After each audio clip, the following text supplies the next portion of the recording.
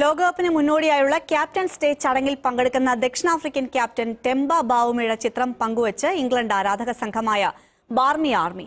Temba Bavuma ചടങ്ങിനിടെ ഉറങ്ങിപ്പോയി എന്ന അടിക്കുറിപ്പോടെയായിരുന്നു ചിത്രം.